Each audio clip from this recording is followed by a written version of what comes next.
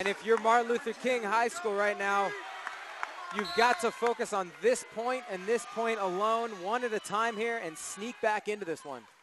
Melanie Hughes, the server. It's still game point for the Monarchs. Kept alive by Brown. The Wolves will have a swing at it. That's Greeley. Dig Schmidt.